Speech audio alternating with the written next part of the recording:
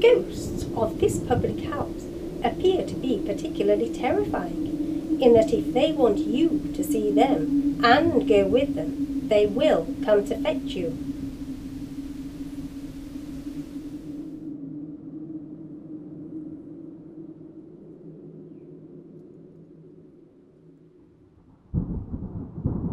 Colin was an elderly gentleman who had been a widower for some time.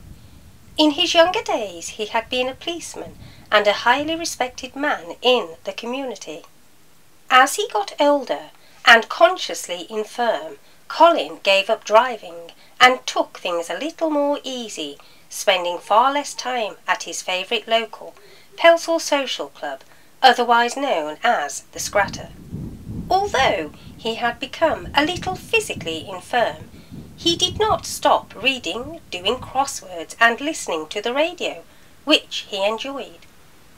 His neighbours, Mr. and Mrs. A, would often pop in to keep him company for a while and took round daily meals for him. At this point, he was no longer able to spend time with his friends at his favourite local, the Scratter.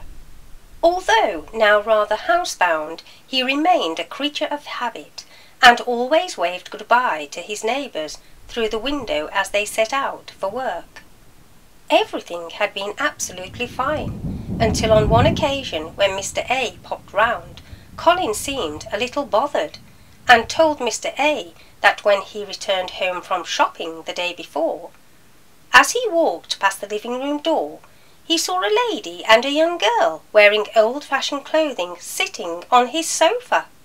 He stopped and looked at them and told them that if they didn't leave the house at once, he would call the police. By the time he returned to the living room after putting his shopping bags in the kitchen, which was the room next door, the lady and the girl had gone. He was concerned because he was definitely sure that he had locked up before he left the house to do the shopping and couldn't understand how these people could have got into his house. Colin then went on to say that a rabbit had got into his house as well on that day, and he'd thrown a shoe at it to get it out. At first, Mr. A didn't know what to say. Colin reiterated that it was definitely there and he wasn't seeing things. Mr. A suggested that the rabbit might have escaped from one of the neighbouring gardens and suggested that he keep the back door closed a little.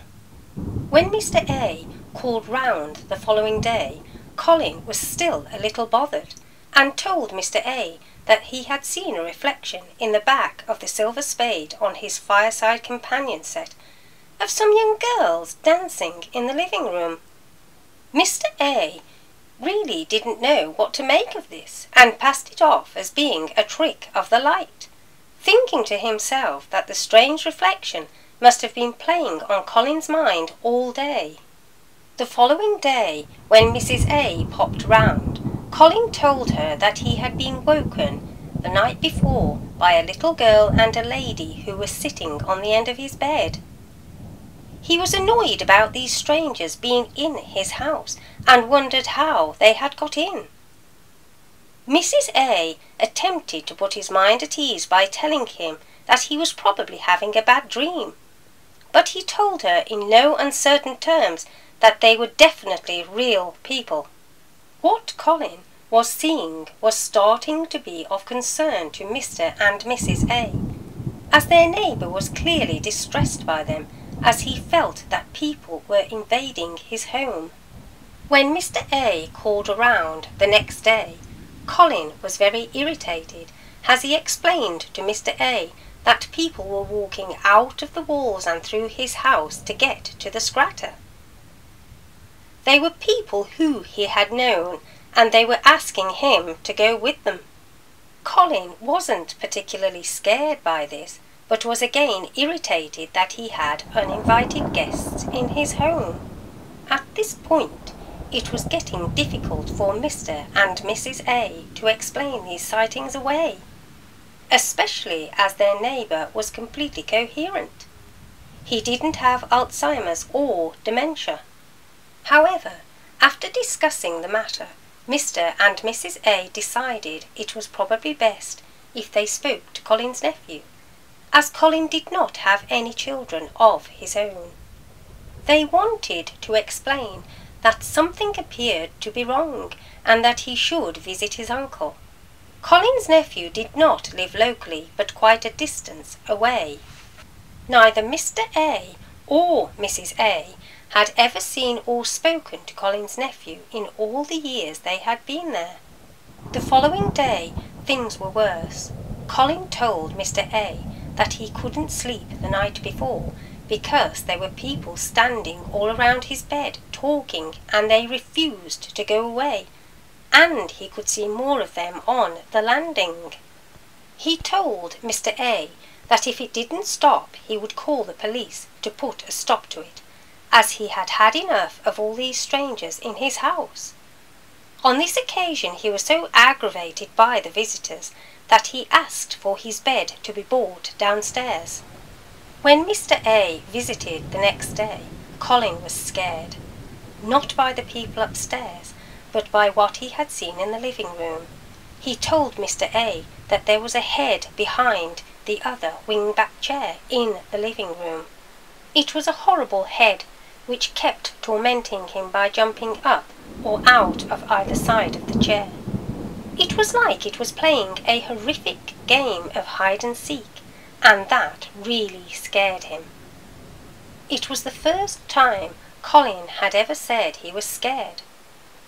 Prior to the appearance of the head, the constant and regular presence of people in his home got on his nerves more than anything, but something about the head really terrified him. The following day Colin's nephew arrived and thanked Mr. and Mrs. A for contacting him.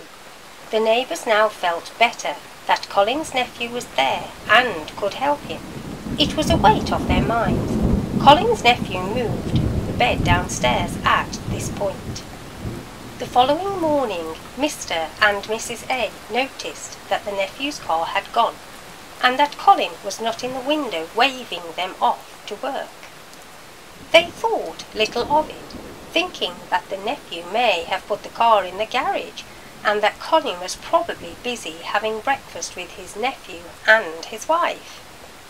Mr. and Mrs. A never saw Colin again.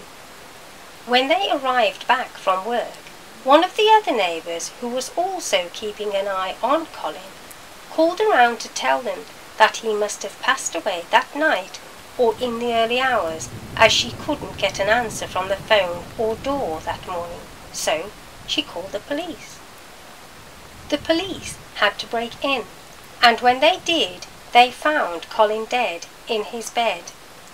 Mr. and Mrs. A were perplexed and wondered what had happened to Colin's nephew. It was then that they learned that for some reason, rather than staying in one of the bedrooms in the house, of which there were plenty, Colin's nephew and his wife decided to book themselves into a nearby hotel and leave Colin alone to cope with his interrupted evenings. It was a desperately sad end to a week which was plagued with horrific ghostly encounters from those who seemed to have come from the Scratter to take Colin with them.